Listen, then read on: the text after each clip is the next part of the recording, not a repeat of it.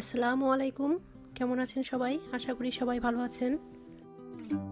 শীত ছাড়াও বছরের অন্য অন্য সময়ও আমরা পিঠা খেয়ে থাকি, কিন্তু শীতের সময় পিঠা খাওয়ার মজাই আলাদা।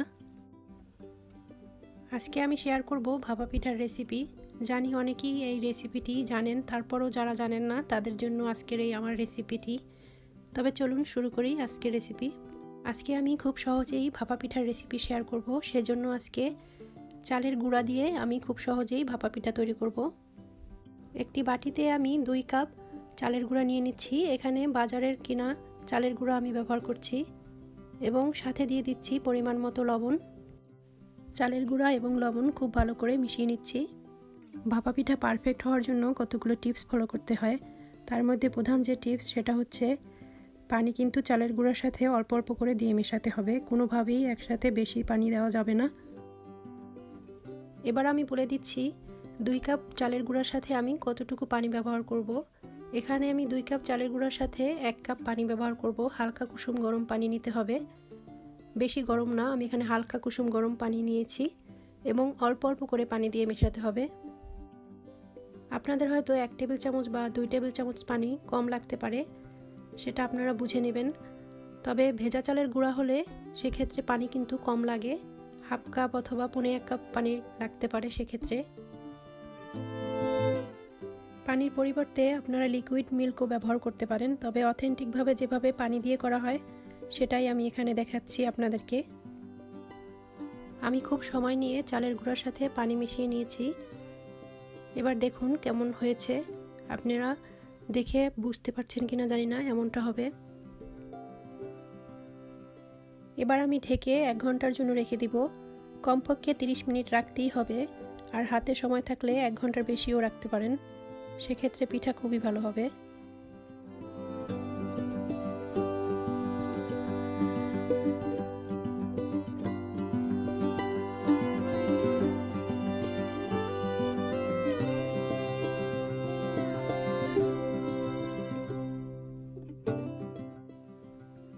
নারকেল আমি কুড়িয়ে নিয়েছি এখানে।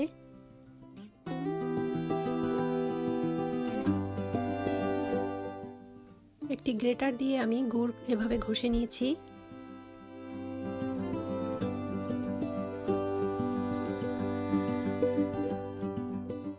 আমি এই হাঁড়িটি নিয়েছি পিঠা বানানোর জন্য। আপনারা যে কোনো একটি হাঁড়ি নিয়ে নেবেন এবং এর উপরে আপনারা যে কোনো চাকনি দিয়ে তারপরে পিঠা বানিয়ে নেবেন ভাপে।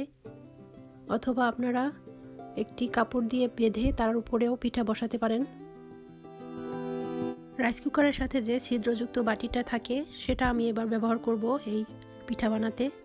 এবার আমি হাঁড়িতে দিয়ে দিচ্ছি পরিমাণ মতো পানি। এবার পানি আমি ফুটিয়ে নেব।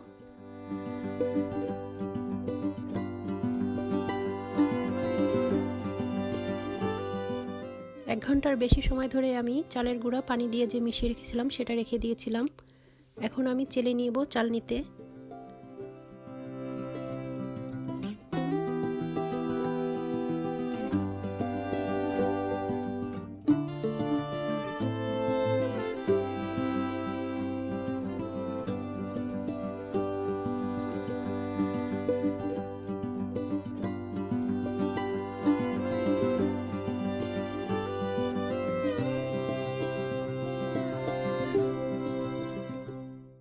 আমার চেলে নেওয়া হয়ে গেছে, দেখুন, এভাবে মিহি দানা দানা হবে এবং পিঠা যখন আমি বানাবো ভাপে সেদ্ধ করে, তখন কিন্তু এই দানাগুলো আলাদা আলাদাভাবে সেদ্ধ হবে এবং পিঠা যে পারফেক্ট হয়েছে, এটা দেখলেই বোঝা যাবে।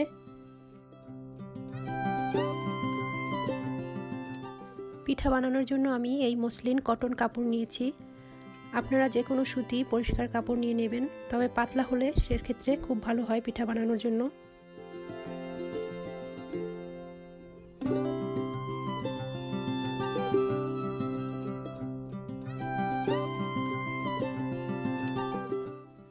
প্রতিবার পিঠা বানানোর আগে কাপড়টি কিন্তু ভিজিয়ে পরিষ্কার করে নিতে হবে। তা না হলে কাপড়টি পিঠার সাথে লেগে যাবে এবং বানাতে কষ্ট হবে।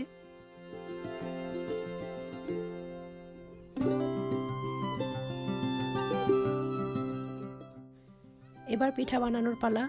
আমি একটি স্টিলের বাটি নিয়ে নিচ্ছি এবং এতে শুকনো চালের গুঁড়া দিয়ে একটু আমি চারোদিকে লাগিয়ে নিচ্ছি।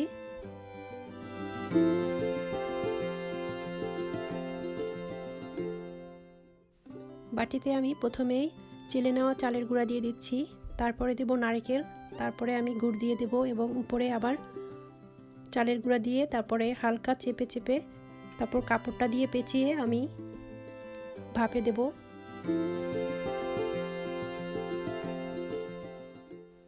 নারকেল কোরানো এবং গুড় আপনাদের পছন্দ মতো, যে যেমন পছন্দ করেন, তেমনটা দিয়ে নেবেন এখানে।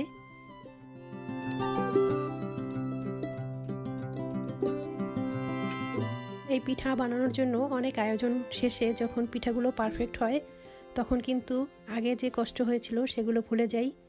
এবং এখন আমি শুধু একটার পর একটা পিঠা দেব আর বানাবো, খুব একটা সময় লাগে না। তবে প্রথম পিঠাটা আমি একটু সময় নিয়ে তৈরি করতেছিলাম।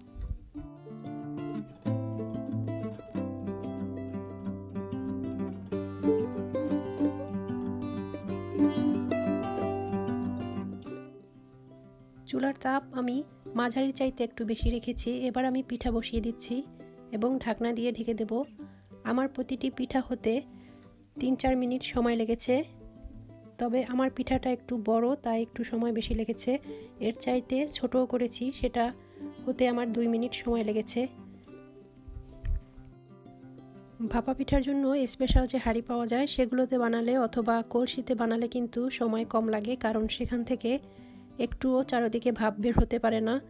অল্প সময়ের মধ্যেই তাই হয়ে যায়।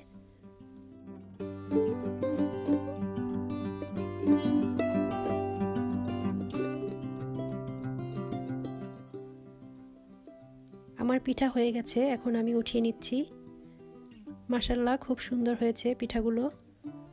এরপরে আমি ছোট করে বানিয়েছি, কিন্তু আমি ভিডিও করেছিলাম, সেগুলো ডিলেট হয়ে গেছে, যার কারণে দেখাতে পারিনি।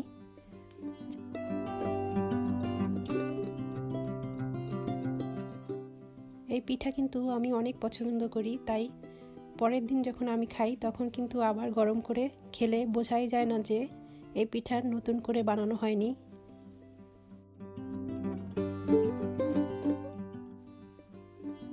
প্রথম পিঠাটি আমি আপনাদেরকে ভেঙে দেখাচ্ছি, দেখুন। আমি চেলে নেওয়ার পরে যে দানা দানা হয়েছিল, সেটা কিন্তু আলাদা আলাদাভাবে সেদ্ধ হয়েছে এবং খেতে খুবই মজা হয়েছিল। আমার এই রেসিপিটি ভালো লাগলে অবশ্যই বানানোর ট্রাই করবেন বাসায় এবং আমার চ্যানেলটি সাবস্ক্রাইব করার অনুরোধ রইল আপনাদের কাছে। আজ তাহলে এ পর্যন্তই। সবাই অনেক ভালো থাকবেন। আল্লাহ হাফেজ।